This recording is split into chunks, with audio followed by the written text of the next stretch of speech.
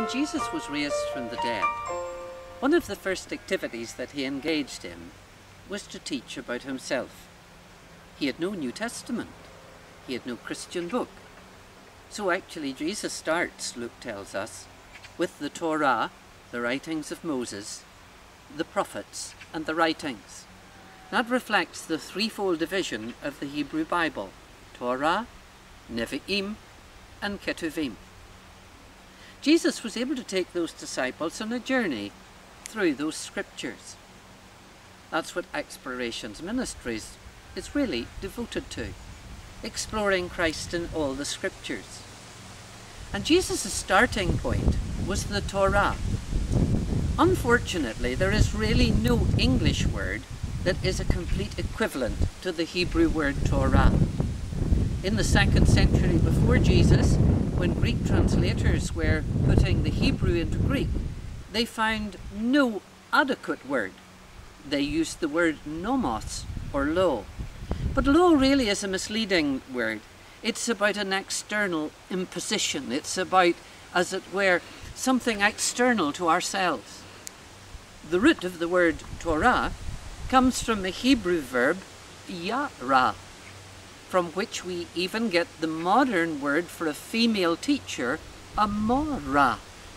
So that the fundamental idea behind Torah is not the external imposition of law, but rather guidance, direction, because the word yara was a verb used in Hebrew of firing an arrow, giving it direction, giving it guidance.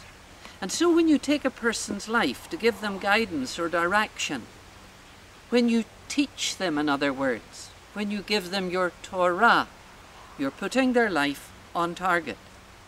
So you get this idea in the book of Proverbs, my son, I want you to listen to the Torah, the teaching of your mother. This was something that was an absolute delight and a treasure to Israel. The psalmist was able to say, How I love your Torah. It is more precious than gold. It is sweeter than honey. So a word that has become very negative in its overtones in English. Rather, we've got to regain and recapture the exciting, dynamic and lovely and worthwhile and positive aspect from the original Hebrew. Because in this teaching, God wants the lives of his people to be on target. He wants us to have a goal, a God-given goal that is enormously liberating. Let's try to train our minds to leave aside this idea of law and enter into the exciting world of exploring God's guidance, His teaching, His direction to keep us on target.